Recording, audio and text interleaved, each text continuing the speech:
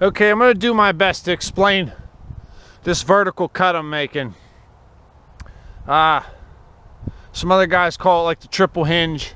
There's a lot of names for this. But as you can see, this tree's leaning hard straight away from me and I want it to come over here.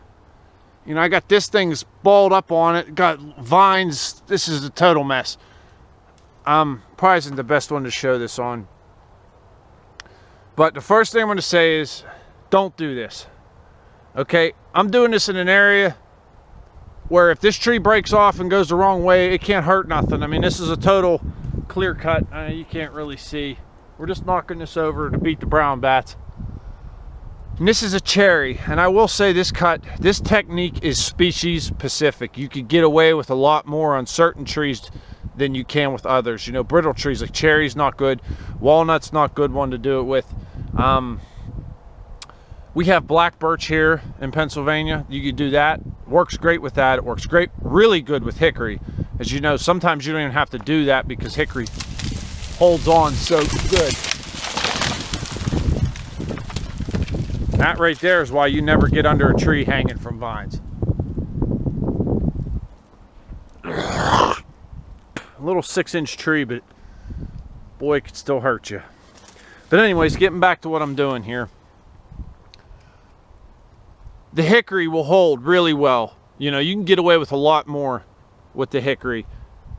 And uh, red oak, white oak. But the thing I noticed with this is you got to get up out of the butt swell, out of the root flares. You got to get where the fibers are starting to get straight, you know, real good and perpend, you know, you, we're down here, they're, they're coming out like this and like this, and they don't hold as well. So you, you got to come up out of this butt swell a little bit. You know, yeah, you're wasting a little material, but nine times out of 10, when you're cutting hard, you know, leaning trees, swinging it like this, it's not a veneer tree. It's usually not the greatest of quality trees because it's, you know, how it's hanging and growing on a hillside. But Ah, I lost my train of thought. Some bitch in ADD. Damn. But anyways, it's species specific. Now, as you can see, I'm up out of my butt swell. I've got this nice notch cut out, good and clean. I got this bore cut. You can see it goes completely through. And I don't know if you can see through on this one. This is cut through too. So I got about an inch and about an inch. And the idea of this cut is you know, the triple hinge being, you, you, come back another one and make another cut. So you have three hinges. And the idea is as this tree's swinging, you know, as you release it and it's coming across, as this hinge fails, you have this to break it up before this one starts to fail. So this one fails, it breaks off basically as the tree gets to about to here. And then as it goes a little bit further, this one starts to break. In this instance, you know, being a smaller tree, I couldn't do the triple I had to do a double. But then, you know, on a bigger tree with the triple hinge, you know, once this one fails, then the next one catches. And from what I understand, and I could be wrong, so if I'm wrong, somebody please correct me because I don't want to put something out there that's not. This is just why I think it works. You know, I'm not saying this is the actual reason, but the idea is, you know, you separate them hinges and when the last one the first one fails the next one grabs so the tree goes a little bit further once it goes and breaks off then the next one you know and so on and the idea being once it's your hinge is pretty much broke off your tree has reached a point to where it's going to just you know lay down. It's not going to want to go out away from you anymore.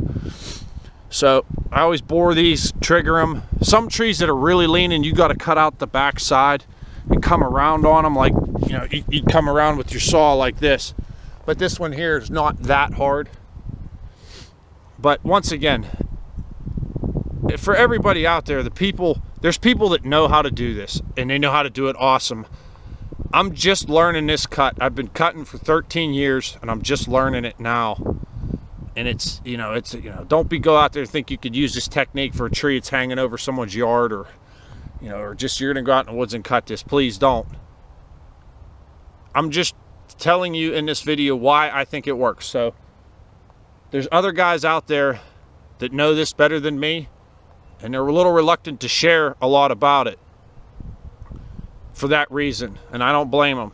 This is not a how-to, this is just a how I do it. So, once what I'll do is I'll release this here, you know, cut my trigger, get the hell away, and it should come right around. So, see if I can set this up on a stump here, and somewhere where you guys can watch it, hopefully.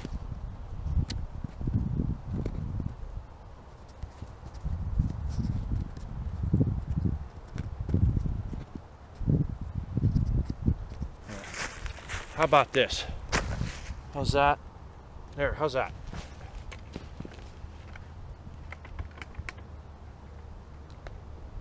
Case is open.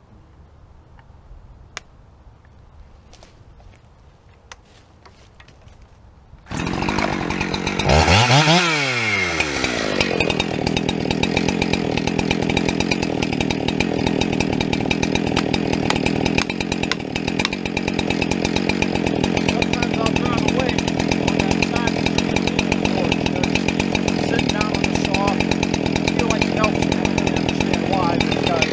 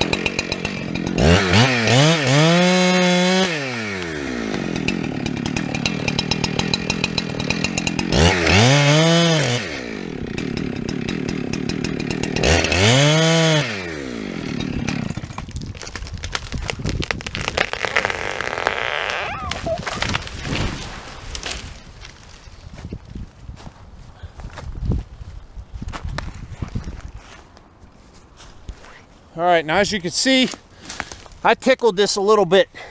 Didn't want to go. I left my hinges just a hair too big. Once again, like I said, I'm not the best at this. I'm still learning. So you, can see you can see here as it went this one broke off once that one pulled so far then this one went uh, well you can see that but and it went right where I wanted it laid it out across the side of the hill here so but all right I hope that helps explain it to some people I'm not the best narrator I might have confused you more than I helped you so please do research on this there's classes I think Logger Wade had that class he took with them fellas out in Indiana. I'd love to go take that class. That's a smart old boy.